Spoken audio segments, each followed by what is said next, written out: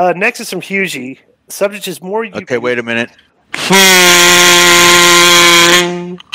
Oh, this is an interesting one because it's talking about. I, actually, I'm going to give Hughezy a little bit of credit on this one. Okay. All right. And the subject is more YouTube acts success success despite. As of September 11th, which in my opinion was a national tragedy, the K100 YouTube channel has now officially passed 31 million views. Wow, that's a lot. Even with the dumb Brian Dunlop on the scene, replacing Juan Ooh, Una. wait a minute. Wait Brian a minute. Dunlop, the guy from the thing before that thought that Willer Utah should be the world champion. Okay, so Okay. replacing Juan Unda as the new annoying dumb mark that won't f- off, the K100 Utah is doing great. All thanks to Tony, Tony Khan's poor handling of AEW and Disco's fascinating conversation about tennis. By the way, Hughezy does not like tennis, by the way. Uh, oh, God, here we go. He's going to get sued. Actually, wait a second. Why are we reading his email? He's supposed to get. Was it been two weeks? Yeah. I thought we. Okay, two weeks. Okay, P.S. What do you guys think about thigh slapping? P.S. Get My Go is coming back. P.S. What does I want Unda think about thigh slapping? And P.S. Konnan's crazy Christmas special coming soon. So that's another week suspension for Hughezy. So There we you won't- go. You won't Be be on the him for another Christmas special. Yeah. And to all those things that you brought up, which weren't funny and repetitive, and you do it all the time, and it's the reason why you're getting suspended. Next Now, was from heard, Kevin hang on, Disco. I have a report for you, and it's from uh, former friend of the show, Juan Unda. He he wanted you to know that uh, due to his association, uh, apparently with you and K100, he was labeled a disco stooge in a Tony Khan uh, Patreon call, and was uh, then not allowed to ask any more questions or be on the call. So, Are you serious? yeah, How did he get into Tony Khan Patreon call? Tony Schiavone. Did I say Khan? Tony Schiavone. oh, Tony Schiavone Patreon call. Yeah, Really? Tony booted him. Bro, he- do you know that ad, ad that the Do official they listen A- to our show that closely? Konnan, Konnan, get, get a load of this. Okay, this is how sensitive that company is, right? Because all we do is watch the, their show and we review it. Uh, you know, I just give my opinions, right? Bro, a at AEW, their official Twitter account, they it blocks me. wow. Bro, you well, why would that surprise you? You have heat Well, with them. Why? Because you talked bad about Brody King or, or not not bad, all but you all I said about Brody fact- Lee was that I thought it was improper that Bruce Prichard, as a journalist, should have been excommunicated Bruce from, from the internet. Bruce Mitchell, Bruce Mitchell, the journalist, got excommunicated from the society for, for questioning whether or not during a pandemic Brody Lee had a lung issue that he died from, but they had to say wasn't why it's it was un was asking that question which was was improper. That's a, that's all. That's all, my only take on that was. You know, I, I thought it You was. must have said something else, and you must have said something about Tony because the word I got there from over there from very credible sources, you know, Tony doesn't like you talking about him personally, and he doesn't appreciate uh, the Brody Lee comments. Someone actually All I saw this could this could have to do well. It's just another thing on the pile, but I've seen people complain on Twitter and YouTube. Bro, let me tell you. yeah, Let me tell you something, Joe. Hmm. If you guys were to able to read Spanish, the hate and shade that I get, Tony. If somebody's li- if somebody's sending this to you, or you're listening to the show, I know you don't give a, f- but if you would have able have one of your Spanish announcers, Abram Abrahantes or Tasha, what's Who's the assistant? Tasha, Jose. The assist- Jose the assistant asked him how much hate, vile venom, and just ornery comments I get. If I were to get mad at everybody that talks bad about me, I'd never be on social media. There's just no way everybody's gonna like you. yeah. Right.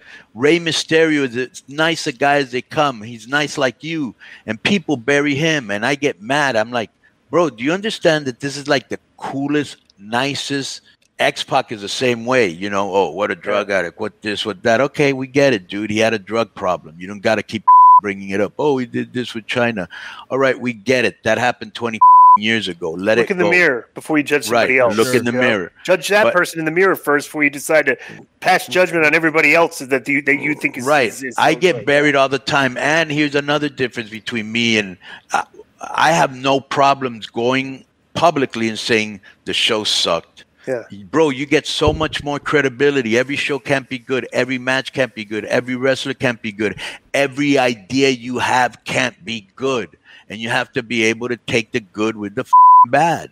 Right. Next yeah. is from I was Keegan gonna, uh, real quick, sub- real quick. Yeah, I was going to say. I think add into the pile of the reasons the AEW social media might block you or people might be upset with you is I've seen a lot of people on Twitter and YouTube lately saying, "Well, Disco said Moxley showed up to work drunk and he should apologize." And I was thinking, Disco never What? said Disco never said that. He oh, said, Oh no, I get to bro. Tons of people lie about they. they Yeah, know, that's another Yeah, thing. I- they lie then you got it. the I've haters never said that. lie, and then the thing is, for example, if you're if you're if you don't listen to the show and you don't read our comments on wherever you say they're at Sports Key or whatever, Yeah. and you just hear it from another person who doesn't like you, you're you're easily manipulated to think Yeah. that, you know. And plus, too, this is for all my haters out there. Okay, guys, you you realize? Look on my my Twitter. Okay, I don't block people, so you're not getting under my skin. It's like you know because like it obviously doesn't bother. Like everything's like oh jobber this. uh, It doesn't bother me. Okay, because I, am not blocking it. I, I Right. read so it doesn't. I'm not phased. Maybe that's another reason people don't like And me because just I so don't, you I don't know- sell for them. You know. I don't block anybody un- unless they become very annoying or start making moronic statements. I don't have to read that, so I Okay. will block you. This is an interesting uh, one here. Kevin Gilroy, subject is Benoit versus Raven. Question for Disco and Konnan and Joe if they, and Konnan and Joe if they know more about this. Disco, on the YouTube clips were you talking about in kayfabe pointless rematches, and you spoke about how Raven didn't want to keep a storyline going with Benoit, and then you said they didn't like each other. Is there more to that story? What made them fall out? How hot did the heat get, and which side were you on? Did I annoy any of you when I said uh, hot did the hot did the heat?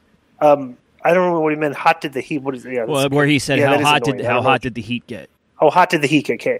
Um, well, number one, Raven used to get used to blow up in the matches. He didn't do cardio and stuff. Everything, and I don't. I don't think you know. Benoit was a a workout freak. You know, Raven wasn't. You know, and Raven was doing a lot of pills and stuff and everything. You know, back then and stuff. He, he, and he'd show up at the shows sometimes, and like you know, they they did the spot where they'd sit in the crowd with the flock, and Raven be all pilled up in the crowd. And like Benoit and you know they bro Benoit is a technical wrestler from the the, the Stu Hart dungeon.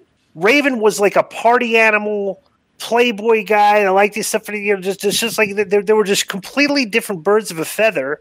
And you know the Raven liked wanted Raven was always politicking to go to and, and you know to go over. You know, Raven would always politic for Skid to try to get over more stuff, everything, you know, and stuff. And Benoit wasn't much of a politicker, but Benoit wanted to go, you know, he wanted to get pushed too. And like when Uh, they worked I with would- each other, I- it was I always would- very I- physical, you know, so they, they just did not get along when working with each other, you know? I would say in that statement, he wasn't much of a politicker. He wasn't a politicker. Right, right.